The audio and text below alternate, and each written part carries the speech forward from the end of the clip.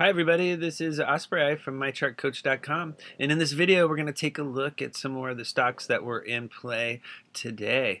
Okay, yeah, let's let's take a look at OSTK.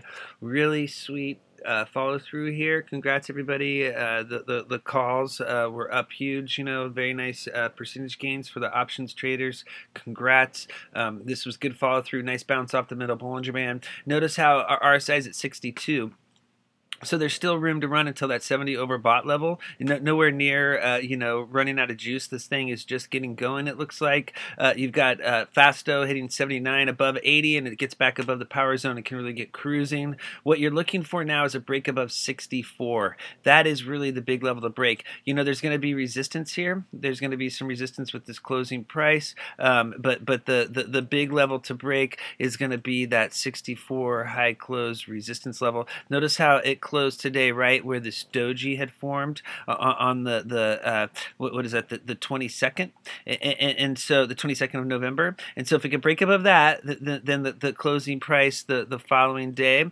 will, be the key level to break the, the closing price on the 23rd. And if it get above that, then that'll signal it wants to head higher. If it comes up to 64 and then it fails to break that level, it could double top and then pull back and test that middle Bollinger Band again. Notice how it bounced right off of that 52 level as long as the middle Bollinger Band, that dotted purple line is holding, the uptrend is intact. So very nice move here. Notice the bullish crossover on MACD on the 12, 26, and 9 just started today, and there was an 8, 13, and 5 bullish crossover. These are signaling uh, the possible start of a new push higher. It's just all about breaking 64. The same thing with this parabolic SAR bullish flip. Okay, take a look at GROW.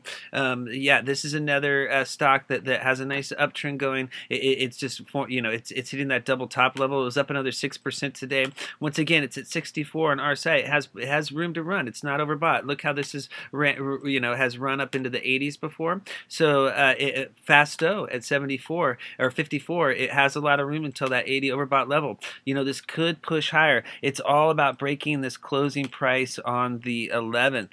That's the big level to break. It's at about uh, 530, 535 uh, right here. This uh, red line represents the key level. Once it can break above that, then, then you have this uh, six dollar level on deck, and, and then um, or, or, what is that five uh, seventy five eh, or uh, five eighty, and and then uh, yeah, if it can break above the five eighty, then you're looking at a seven dollars again. Okay, so this has come down like I was talking about on the the overstock chart. You know, it topped, it came down, bounced off of support down here at 340, and then it's come back up and it hit the previous resistance level, and so you know now there's this uh, double top.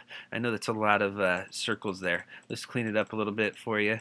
Um, and, and, and, so so so it has a, a, essentially a double top has formed between uh, these two uh, you know a top here pulled down bottomed came back up double top. So it has to break a top of this level. If it can get back above this level, break above 540, that signals it wants to head higher, and then 7 will be on deck. If it fails to break 540, then it could consolidate, and, you could see a drop down to test that middle Bollinger Band again, which is down there at $4. Okay, let's look at WAC the stock is heating up. It has RSI at 63, so there is room to run into that 70 overbought level. Um, so it's been uh, in a nice uptrend once once again. Just keep in mind the trend is your friend. You know when, when WAC was over here and it and it topped out last time back in uh, September and it broke below the middle Bollinger Band in October. It had the nasty downtrend. You know you didn't want to be long, but now it has a nice uptrend going. And so as long as it can keep that going, you know the signal. You know this is a this is got got a good uh, a trading chart here. And, and, so it broke above the 50 and uh, 100 day simple moving averages. Currently down here, lined up with the middle Bollinger Band between 46 and 50. So it needs to hold that 50 level. And then right now it's been holding EMA 4 at 65. That's the pink line. As long as it stays above that, the chart's super bullish. It's hitting the key resistance zone. It needs to break above 70 cents. If it can break above 70, then we're looking for a run up to the 200 day simple moving average at 89.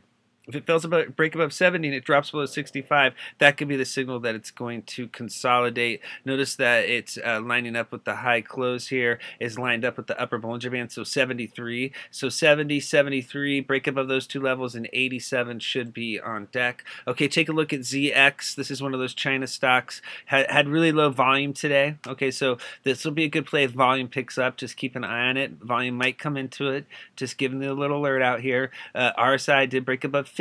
Last time it did that, that's when it ran last time. And, and so you want to see Fasto get above 50. Uh, you want to see ADX here. You want to see the plus DI cross ADX to the upside. And so after it had the last big run, you know, no, notice how it was super low volume. They, they got it going quietly. Notice how the three candles were real quiet. And then boom, you had the big volume spike, the run from, uh, you know, it ran up like 200% and then pulled back. And then, and then it's just been in a downtrend ever since. It just got faded after that big thing. And so now it looks like maybe it, it, it, it wants to bounce here. So, so it had the nice bounce today on really light volume. Remember last time it got going on light volume. And so what, what triggered the, the, the breakout last time? It was the close above the dotted purple line, the middle Bollinger Band back here on the 10th uh, of November. And then, and then it broke out higher. And, and so this is kind of similar to the candle on the 8th. You know, it's, it's heating up. It's heating up. Now if it can get above 150, above the middle Bollinger Band here at 149,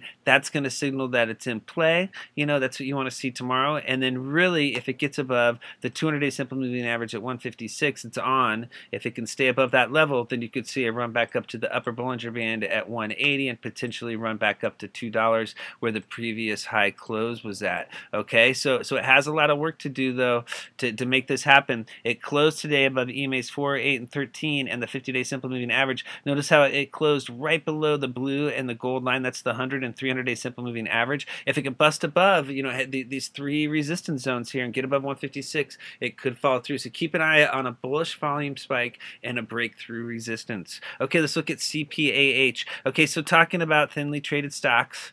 Okay, this is the perfect example. Okay, so if you're, you know, these stocks are great if you're if you're day trading. Okay, so like if, if, you're in the morning and they're like, yeah, CPH has the, the news and, and yeah, it's in play and it's got the volume. Eh, the first thing you want to do is look at average daily volume. Okay, so look at the prior months. Look at the volume. Nothing, nothing, zero, zero, zero. You know what that means?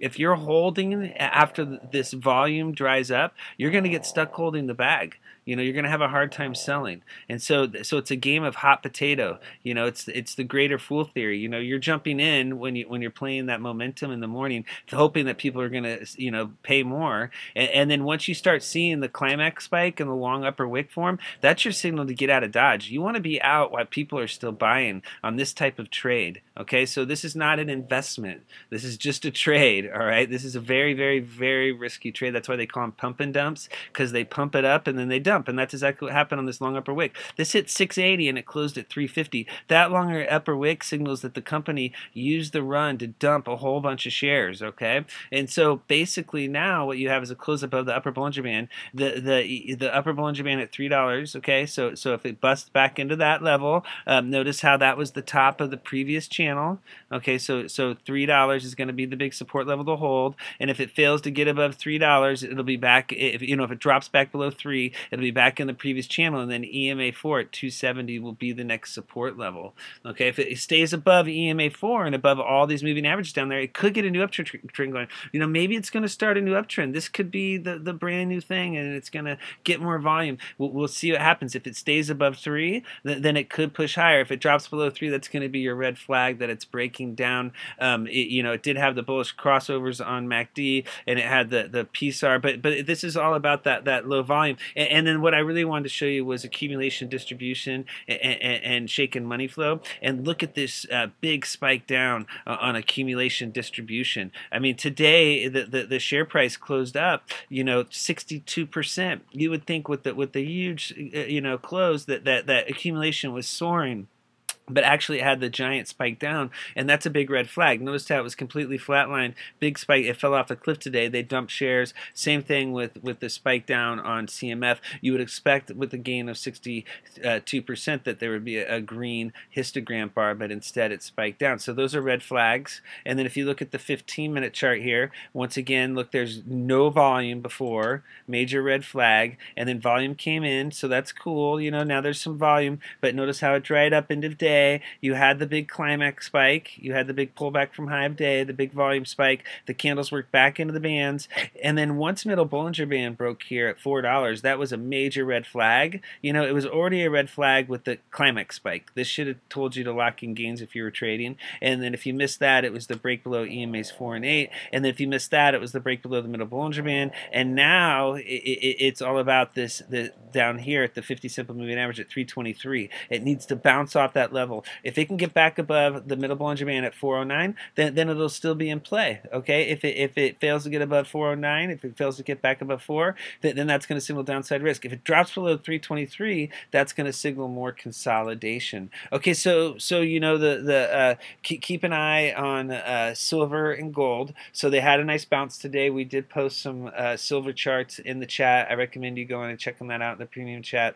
But but the uh, yeah yeah the uh, silver you know made a nice bounce. You know, Bitcoin was cooling down. So so with with everybody, you know, dumping gold and silver, uh, you know, and jumping into all the cryptocurrencies, maybe if Bitcoin cools down, gold and silver could rally. Who knows? Um, so today got a little bounce here for PLG, and, and, and, as you can see, it's been on this really nasty downtrend as as Bitcoin's cruising higher. This thing's been getting punished. And, and, and look today, there was a nice close above EMA's four and eight. Now currently EMA 13 at 0.326 is the key level to break. If it can get above that level, that's right where it closed at, then you're looking at the middle Bollinger Band at 345. Notice how it tried to get back above that level before. It failed to do so. If it get back above that, then it could eventually work its way back up to the 50-day simple moving average. It's similar move to here. This is what we're looking for. See, it took a little while to get above EMA 13, but once it got above the middle Bollinger Band back here in October, it finally ran up to the 50-day simple moving average. You know, those were some nice percentage gains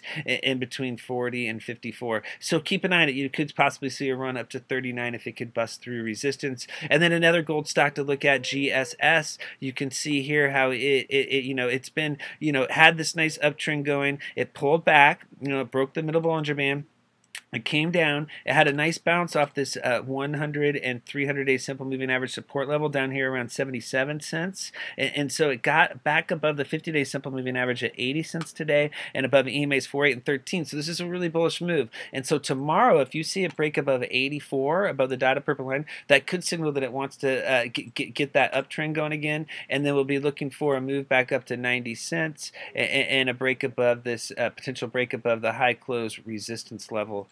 And then another one to look at is FAGI. You know, we've been showing this one a little bit, one of the uh, blockchain stocks. And then, uh, yeah, if you look down here, you could see here it's got the, uh, or, or was this? Yeah, yeah. Well, anyways, um, uh, I think this is an MJ stock. Anyways, it, it doesn't matter. It, it's a penny stock. It's uh, down here and um, I, I, it's down here and bouncing, and now it's above uh, EMA's four and eight. And, and, so what it needs to do is it needs to get above 40. Oh my goodness! And uh, if it can get above 40, th then you're looking at a potential run up here to the 200 day simple moving average at, at 0.654. So break 40 40 and, and, 65 cents is on deck. If it fails to break 40, then, then that could signal a top here. Notice how it's double topped at 40. You know, bust through 40, it's running to 65. Fail, you know, drop below, you know, 30 cents here, and it could pull down and test that middle Bollinger Band at 15 cents. And then finally, keep an eye on CBRIQ. The stock used to be a big board stock, and it dropped down to the OTC.